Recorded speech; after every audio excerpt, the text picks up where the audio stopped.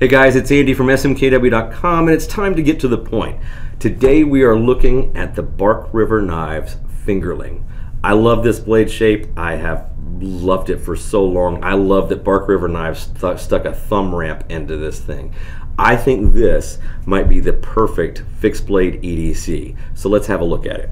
The Bark River Knives Fingerling features a 3.25 inch CPM 3V trailing point blade, or a skinning blade if you want to call it that. It has a satin finish and it's an eighth of an inch thick with full tang construction. So you're gonna get a good solid fixed blade knife right here. Just, I think this shape is just amazing. Of course, I always dig an upswept blade. It's fantastic.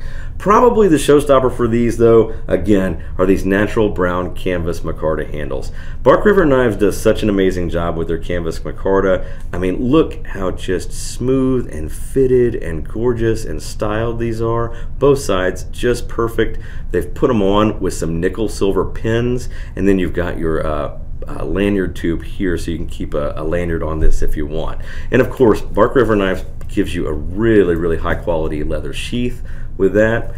This fingerling is 6.875 inches overall, so it's a fairly small knife. It weighs only 2.72 ounces, and of course, Bark River makes these right here in the USA. I can't say much more about this. Uh, Bark River, if you've not been in that category or in that brand at smkw.com, you should check it out. There are like four or five different iterations of this fingerling on the site right now, all with different handle materials, some with different steels, I believe. Uh, I'm going to put some links down here into the comments and into the description. So go click that and check them out. Uh, if you want this, click the link, go to smkw.com and get you one.